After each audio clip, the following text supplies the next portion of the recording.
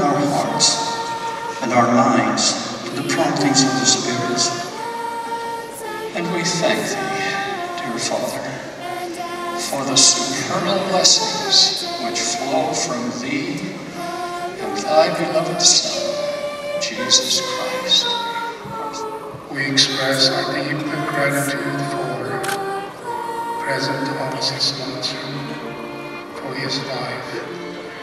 We are grateful for the gospel of thy Son, including those at Japan, that they may bear their burdens with ease.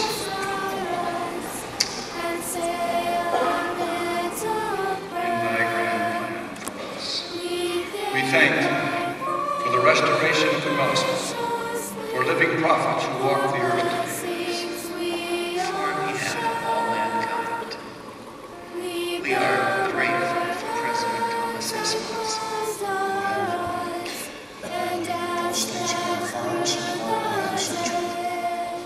thank thee for thy Son, Jesus Christ, and his atoning sacrifice on behalf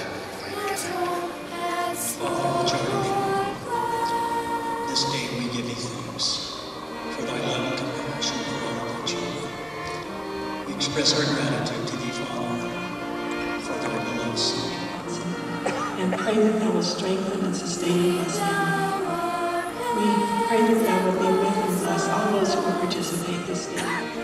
Grateful for the privilege of being gathered together for General Conference to be good disciples of Christ. For this we come